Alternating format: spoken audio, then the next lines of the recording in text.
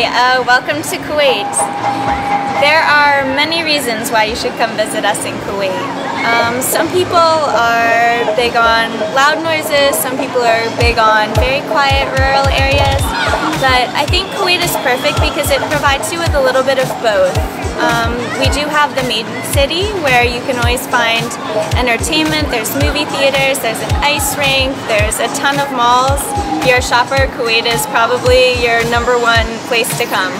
We are supposed to have, I believe, the biggest mall in the world, which is called the Avenues. So it's a pretty excellent place to go just to see anything and people watch if that's your thing. Another great thing about Kuwait though is that we do have those more quiet rural areas.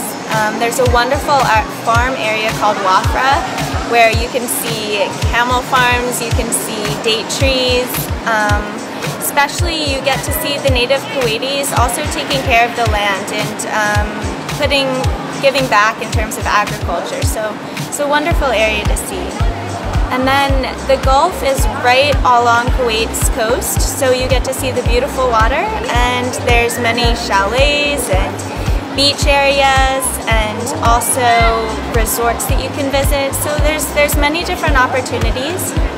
And for the more quiet people, there's also a ton of cafes and nice, just relaxing places to go hang out with your friends. So Kuwait is a great place.